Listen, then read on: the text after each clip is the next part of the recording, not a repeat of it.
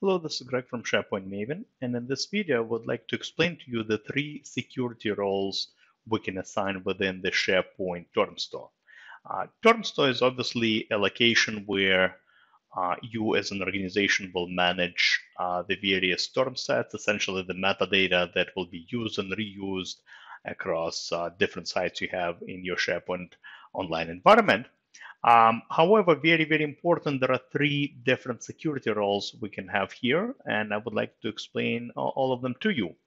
I'll start with, uh, with the Term Store admins. Uh, essentially, these are the users who have full admin privileges of the Term Store. Now, just because uh, you might be a SharePoint admin doesn't mean that you would be the admin of the Term Store. It's a unique role uh, that you would need either someone would need to assign to you or uh, you would be able to assign yourself if you are the uh, the SharePoint uh, admin within your environment.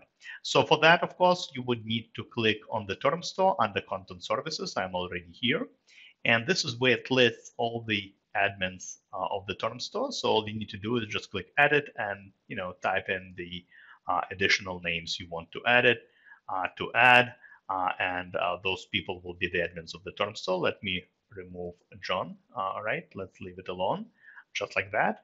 Um, essentially, uh, admins uh, have full admin privileges. They can create different, uh, you know, the new term groups. They can um, create and maintain anything um, within uh, those groups, you know, new term sets, new terms. Essentially, they have full admin privileges over the whole term store. All right, so that's situation number one.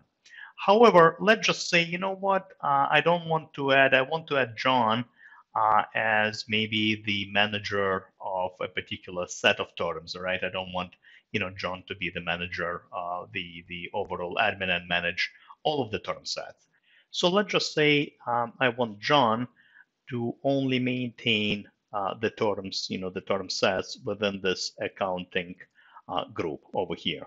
All right, I don't want John to have access to uh, all the uh, other groups, all the other term sets. I have just this accounting uh, one. So for that, what you would need to do is click on the name of the group, of the term group. And over here on the right side, you're going to see group managers and contributors. And let me explain to you the difference between the two. All right, so uh, contributors essentially are users who would be able to add, edit, delete term sets uh, within this group. So in other words, if I add John uh, as the contributor to uh, this term group, John will be able to come in and add new term sets, you know, delete, uh, you know, delete an existing term set, you know, manage terms within, um, you know, a particular term set.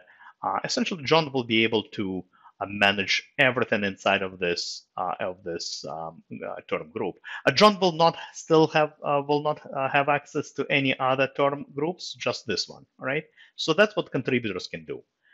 Group managers can do everything contributors can, but uh, group managers uh, could also maintain the list of contributors.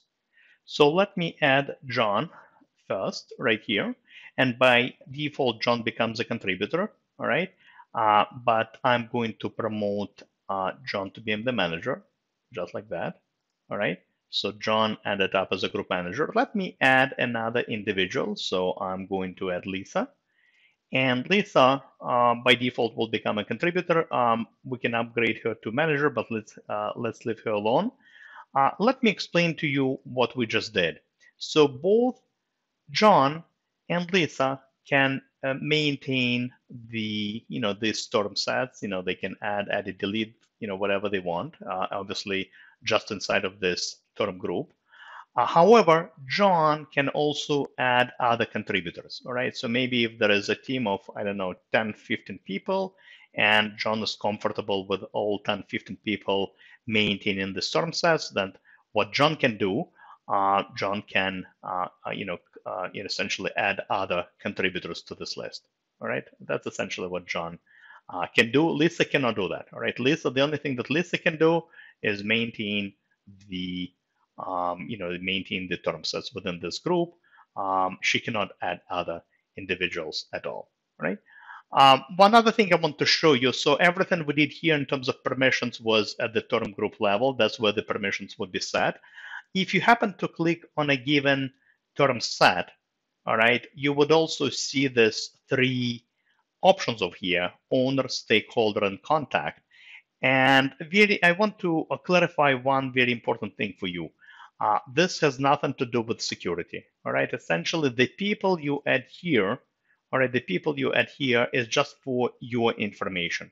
So if you want to maybe, you know, these are not necessarily people who will maintain it from the SharePoint side of things in terms of permissions. These are people who, um, you know, are just to, um, you know, you want to retain their contact information. These are people who you can ask uh, if you have some sort of question about the term set, all right?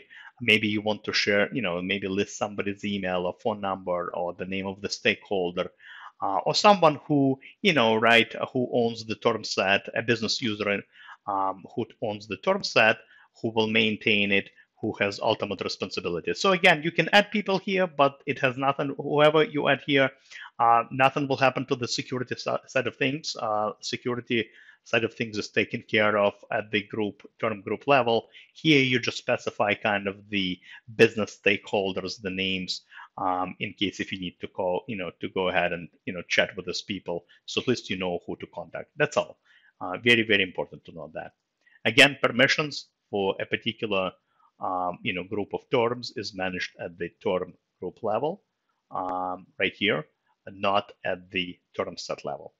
All right, so these are the three security roles we can set up, uh, three different uh, ways to set the permissions for your term store. Again, we have the admin role, uh, which obviously has the full admin access over the whole term store. We have group managers and contributors.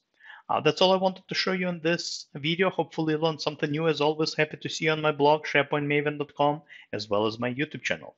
Thank you very much. Have a great rest of the day. Goodbye.